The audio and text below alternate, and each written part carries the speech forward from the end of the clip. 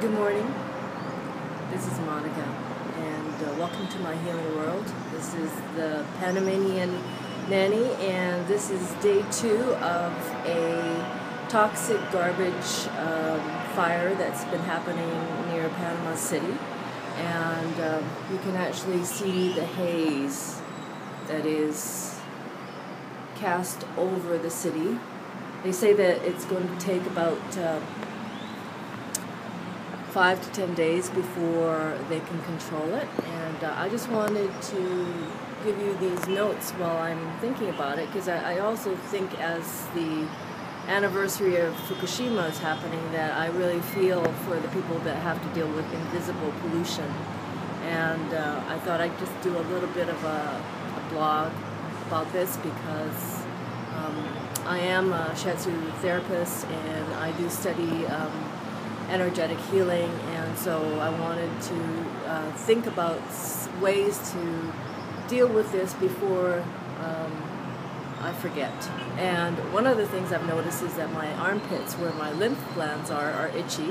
And so I've been actually manually pumping my uh, my uh, lymph glands um, in my armpit with my hands, massaging it, just moving the uh, whatever energy that's uh, toxic through, helping my physical being by manually um, massaging the lymph glands. I'm also swallowing. I'm doing a lot of internal movement of my neck because right here, underneath your uh, throat, is the start of two lymph buttons that actually help move um, the toxins out into the heart cavity, into the armpits, so that you can actually move um, toxicity out through the sweat.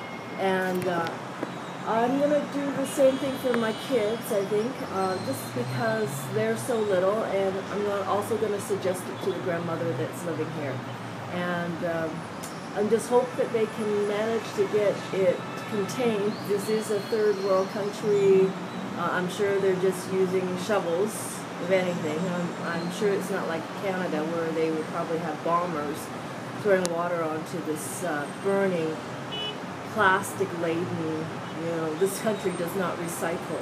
And so everything is thrown into the garbage country. And I feel very, very um, I think grateful to be here to experience this so that I can actually project it out into the world. I noticed that there's not a lot, a lot of news about this fire from a personal point of view, and I thought I'd offer it um, right here in this blog.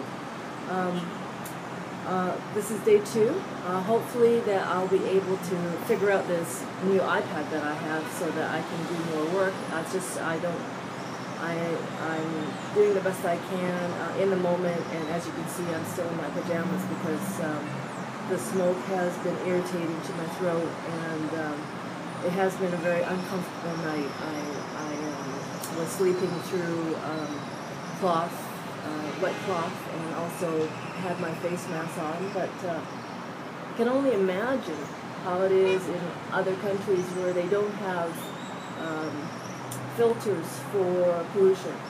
And uh, up to now, I mean, Costa Rica has been beautiful. It's just uh, with a garbage fire and no recycling, you can imagine all the plastic that's burning. So, welcome to my healing world. I hope I offer you some um, interesting insights, and uh, and I'll continue reporting from the field. So, welcome to my healing world. This is Panama City. A great day wherever you are.